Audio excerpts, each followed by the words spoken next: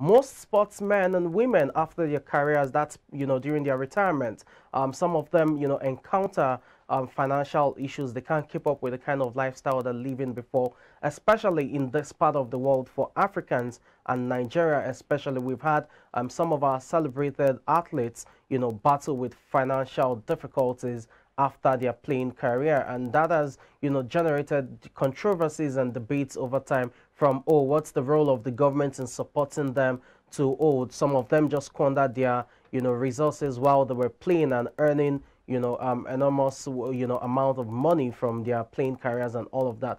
All of these we'll be discussing today. And i'm being joined now by Charles Frakhoga a financial coach and business consultant as well including a stockbroker, who will be talking to us um, about the um, need to have smart investment and savings, especially for these athletes talking about their post career. Good afternoon and welcome to the show.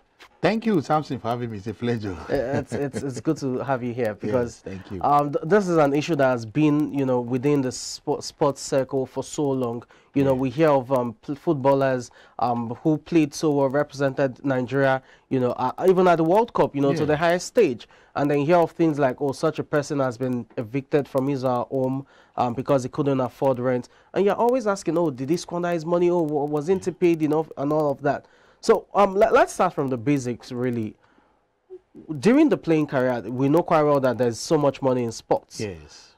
Some of these athletes are not, you know, um, sound or um, ed educated when it comes to their finances in terms of investment, smart investment, savings, and all. So let's get your thoughts from that aspect first. Yes, thank you very much, uh, Samson. It's a privilege to be here today mm -hmm. to talk about this because you know, I'm also passionate about these people who have served the country so well in various um, capacity, whether they were footballers, whether yeah. they were basketballers, you know, wrestlers, other athletes, sports, athletes generally, yeah. you know, and you know that for sport people, it is unique for them. Mm -hmm. Though they are not different from any of us, that we need sound financial planning, even right from our youth.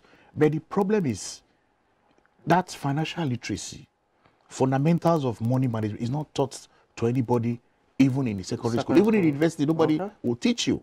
And when they start earning money, you know, at that early stage, they forget that their playing career short. is very short. They have a very short window. 10, 15 years, yes. max 20. Even those ones are even lucky. Mm. Injuries can even come up. Exactly. But me and you, all things being equal, we can say, okay, we can work 20, 30 years. Mm -hmm. Into but for this, yeah, into our 60s. But for this athlete, it's not possible. I mean, take um, a typical player, for example.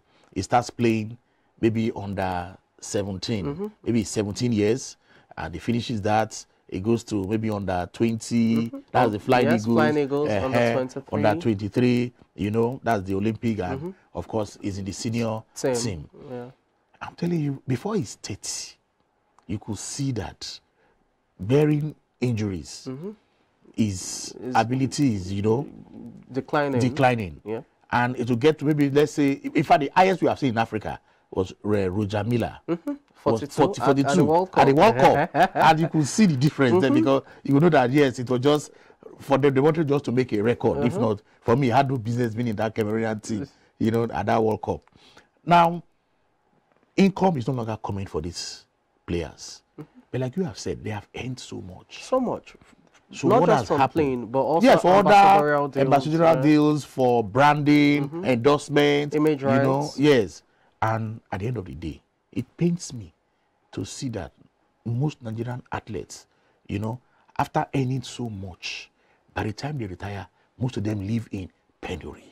Okay, um, I mean, it, it's something that is worrisome, really, and um, it's quite unfortunate. We'll, we'll mention maybe one or two names. Yes, that's I not, hope they will not. Uh, you know, it's, it's, fine. okay. I mean, th these are things that um, we are not cooking up. That things that have been in the media in time past. Okay. And um, the, the hope is that you know um, those who are into sports at a tender age now can learn valuable exactly. lessons um, from their own experiences. Yes and not make the same mistake. For some of them, it must be said, um, they did not deliberately, you know, um, find themselves in th- th- that situation in terms of maybe overspending or not being smart in investments. Some of them were duped even by family members, Exactly. which is quite unfortunate. Even by professional um, law- lawyers and even professional finance experts. Yes. Yeah, yes, exactly. I mean, for example, the Wilson Oruma, you know, case was out there, and um, there were talks that um, it got duped 1.5 billion naira, not million, 1.5 billion, Billion naira. You can see that. You know, um, there were talks that um, the the incidents, um, as a result of being duped by his family members and eh,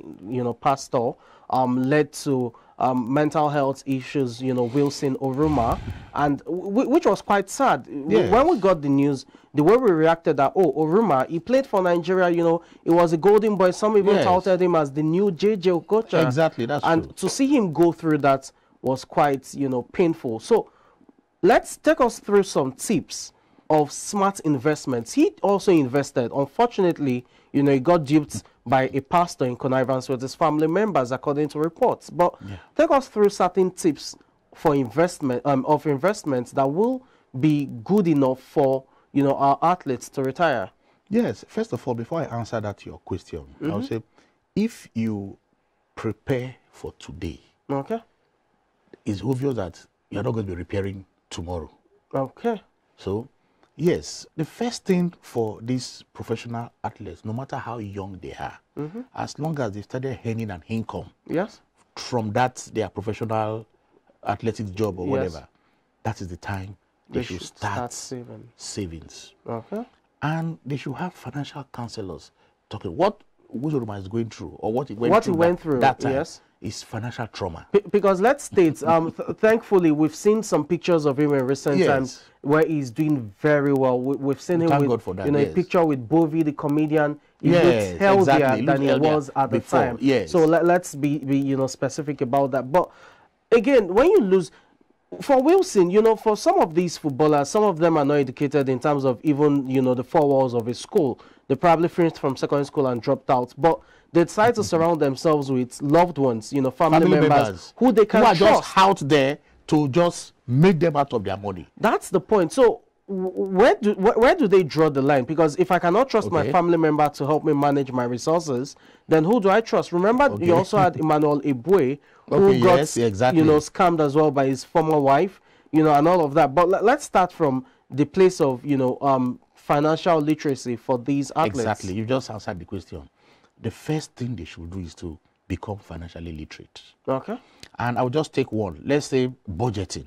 Maybe because we're Africans, you can't run away from family members. Uh, Definitely, you can't. so one thing there is budgeting, you know, because they should also have a comprehensive financial plan for themselves. for themselves. Now, one of the items there is budgeting, which I call plan spending. Okay. Now, you know the amount of money is coming in Coming to in, them. Their expenses, they have to track it down. Yes. Before they even spend, they should have a record. I'm going to do this for family members. Okay. I'm going to do this for friends.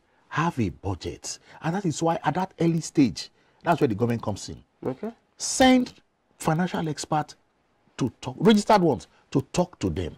Okay. Provide our services free for Free. them.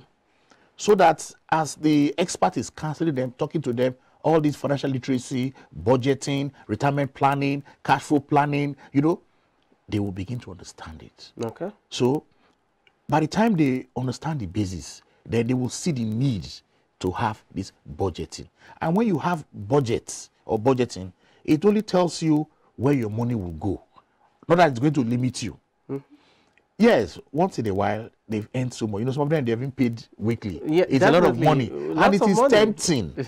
yeah, and they are human beings. It's tempting To get they- a flashy cars. Yes, of course, they want to get the flashy cars. There's nothing wrong with that. But they should also look at getting that flashy cars for how long? You know? In terms of houses, too, you just buy so many houses. Yes, they can invest in real estate. We're coming to that, They can invest in real estate. But get a very good flashy car, you know, that you can maintain and you make use of it. They should also be looking at, look, my playing career is so mm-hmm. so and so number of years. You need to calculate that. And after that, Timeline. what how, what can I still do to maintain my standard of living? Living. Okay. So with that budgeting, then of course a savings plan. Mm-hmm. They should save for the rainy day. Day. Like I used to say, not only for only athletics, Yeah. for other professionals too. Yes. A time will come you want to run. You you cannot run. run. You have to. Who takes care of you then? Mm-hmm. You don't need to begin to blame government or blame your relations or blame the club that you are playing for. Those ones, they are only you're only useful to them while you are you're still, playing. playing.